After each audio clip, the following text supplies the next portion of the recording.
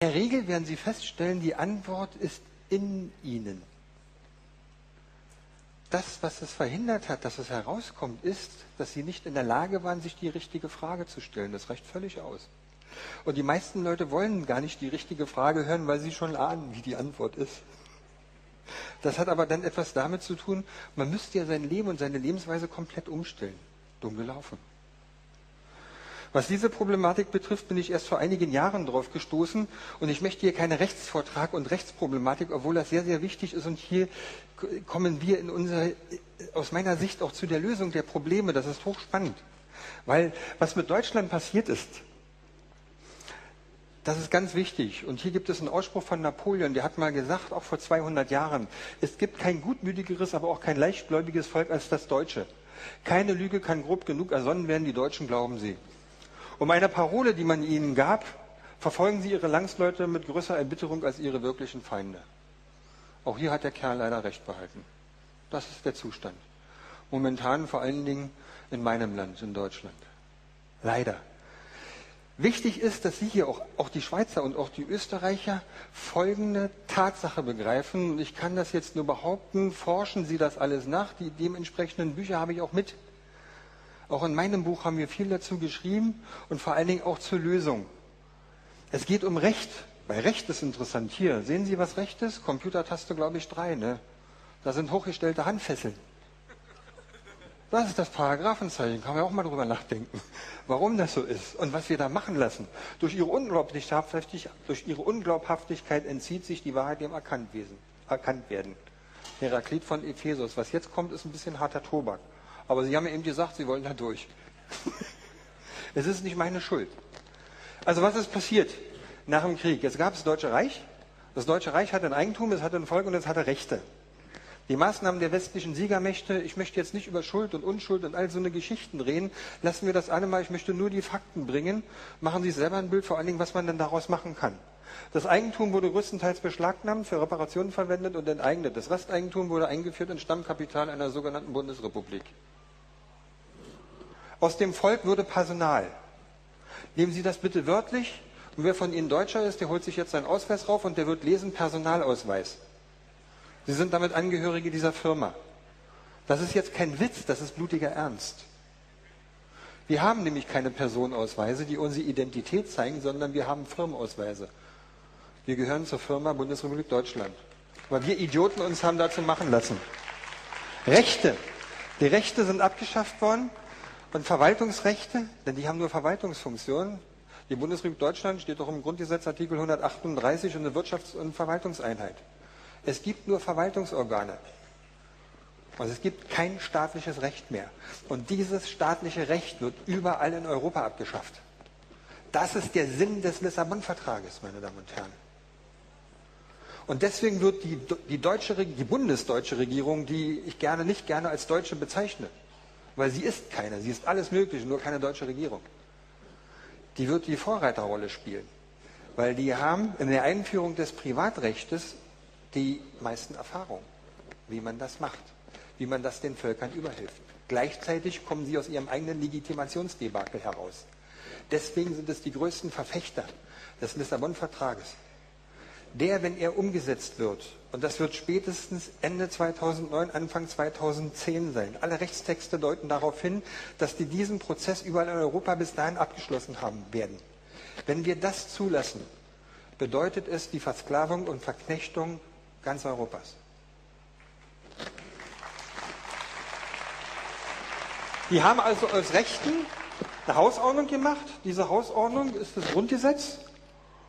Die Firma hat auch ein bisschen Geld, ist das Stammkapital der Firma geworden. Die hat halt kein Volk mehr, die hat nur noch Personal. Der Aufsichtsrat ist die hohe Kommission, die, die alliierte Behörde. Der Vorstand oder die Geschäftsführung, wie man das will, das ist die Bundesregierung. Das können Sie übrigens alles nachlesen, was ich erzähle. Lesen Sie das Grundgesetz, da steht das alles drin. Weil der Bundeskanzler im Artikel 65 Grundgesetz, der bestimmt nicht die Richtlinien der Politik, sondern die Richtlinien der Geschäftspolitik. Und er bestimmt auch die Geschäftsbereiche. Und so weiter und so fort. Das ist es, was dort steht. Lesen Sie das genau nach. Bitte langsam sprechen. Der Eigentümer sind die Vereinigten Staaten und Großbritannien. Also wir haben Eigentümer, wir sind nach wie vor ein besetztes Land, wir haben eine Geschäftsführung und das ist der Kontrollrat. Im Osten waren die Begriffe nur anders. Vor der Einheit, da gab es das Kombinat Deutsche Demokratische Republik. Der Aufsichtsrat war die Sowjetunion, der Vorstand Generalsekretär und der Eigentümer war die Sowjetunion. Von 49 bis 90 abgewirtschaftet, ausgeplündert, genau wie die Bundesrepublik auch. Man musste den Spaß zusammenschmeißen und hat dem wirtschaftlich stärkeren System den Vorrang gegeben. Übrigens, beim Studium der Geschichte ist mir Folgendes aufgefallen. Sozialismus und Kapitalismus sind zwei Seiten der gleichen Medaille. Und beide Systeme, nochmal, beide Systeme hatten die gleichen Finanziers. Und die machen immer eins, These und Antithese, daraus wird Synthese und die Geschichte verkaufen sie uns als Geschichte. so funktioniert das bis heute. Und so sind wir auch in der Straße rumgesprungen und haben die Sektkorken aufgemacht, weil wir dachten, die deutsche Einheit und jetzt geht's los. Und das war auch wirklich eine große Solidarität unter den Menschen 1990. Ich kann mich noch daran erinnern, ich habe mich selten so frei gefühlt. Da war leider nur gefühlt. Die Wirklichkeit sah anders aus. Da habe ich noch 15 Jahre gebraucht, um dann dahinter zu kommen. Was eigentlich stattgefunden hat.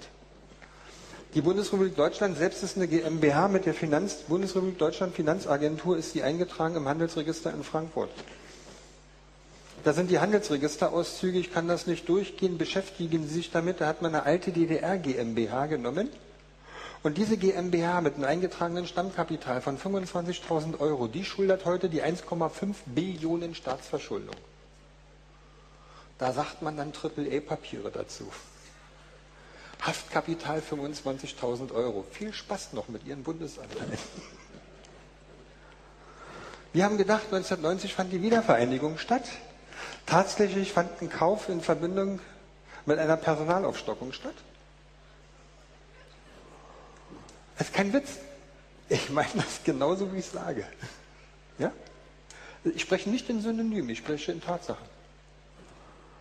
Neben dem Kaufpreis von 200 Milliarden für die DDR wurde auch die Liquidierung der BRD vereinbart. Und das war Europa. Und das soll Europa sein. Die Ausgangslage, ach, das möchte ich jetzt nicht machen, dauert zu lange.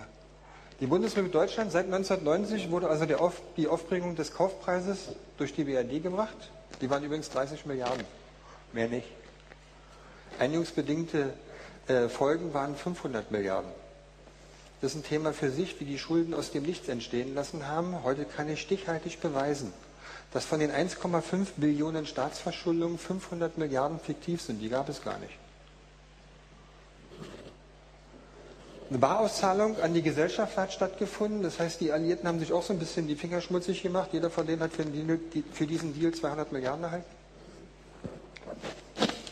Und was noch zu tun bleibt, ist die Verschiebung des Personals, die Insolvenz und die Liquidierung der BRD AG, die Gründung von Verwaltungsgesellschaften. Schauen Sie sich an, die deutsche Sprache ist sehr, sehr präzise. Wir hatten früher Arbeitsämter, heute sind es Arbeitsagenturen.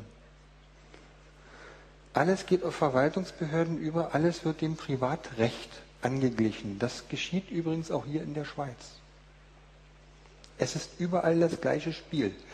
Man nimmt uns sozusagen als Volk die Kontrolle über den Staat und versucht uns über HGB privatrechtlich für Dinge zu belangen oder in Verantwortung zu nehmen, die früher Aufgaben des Staates waren. Und die werden gezielt abgeschafft für ein kleines Klientel, das dann die Kontrolle über die Welt haben will. So wird die Sache rechtlich abgesichert. So wird die Sache gemacht überall in Europa und in der Welt. Tja, willkommen in Ihrem Club. Das ist die EU. Wie sieht's da aus? Das Interessante ist, ich zitiere jetzt hier die Welt. Das ist nicht von mir. Die Welt wurde gefragt, was sind denn diese zwölf Sterne? Und die Welt eine konservative Zeitung schreibt, diese zwölf Sterne symbolisieren die zwölf Stämme Israels. Die Gründung der EU hatte sechs Mitgliedstaaten. Es waren schon immer zwölf Sterne. Heute haben wir 27 Mitgliedstaaten.